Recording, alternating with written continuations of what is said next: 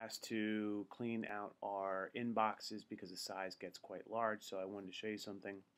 Um, first things first is um, in your deleted items, uh, a couple things are one, when you go to deleted, you can go and uh, right mouse click and then choose by size, which then allows you to filter then or sort by size.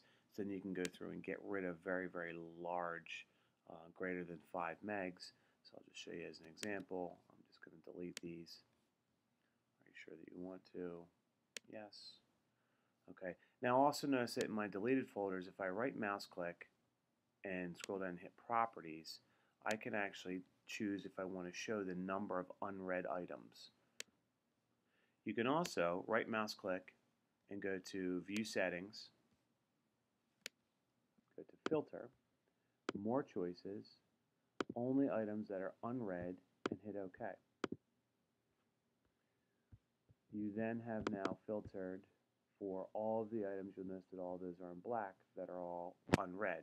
So you could then easily go and grab a whole number of items